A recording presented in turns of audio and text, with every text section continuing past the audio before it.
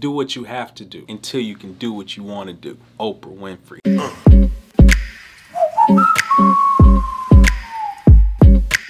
Yeah, you gotta start somewhere. There's gotta be a beginning to your ending. Yeah, you gotta get started. You gotta grab what you got right now. If you wanna look into the future, you see, understand your growth. Sometimes you gotta understand your growth pattern. I mean, I'm understanding that I'm inherently lazy. So there's some things that I don't do, even though I know I should. But being that I know that, there's some times in my life when I gotta tell myself, hey, Jay, get up, get to work, do what you need to do. And then I accomplish whatever task that is. And that's what everybody needs to understand. You see, you'll find yourself trying to do something, but you may not have a will to see it through the end. But I promise you, if you just get started and just get started moving, you'll be able to do it. See, even I got dreams of sitting at the top and drinking champagne, but I understand there's some things I gotta do to get there. I gotta drink beer first, cause see, you don't wanna get somewhere and not be prepared for it. Everything that you go through prepares you for the next level, cause when you get to that next level, you gotta be ready for it. You ever got somewhere and said, huh, this is a little bit too much for me? Well, if you look back, you might just determine that you took a couple of shortcuts to get there. And the only thing you gotta do is do a little bit of extra work to catch up. I guarantee if you take that into account and eliminate all the shortcuts, because there ain't no shortcuts to the top. You gotta work hard, you gotta do what you gotta do until you can do what you wanna do. And there's some things I wanna do, and I'm gonna keep doing what I gotta do until I can get there and do it. So do that. I'm Jay Wade. Peace. Uh.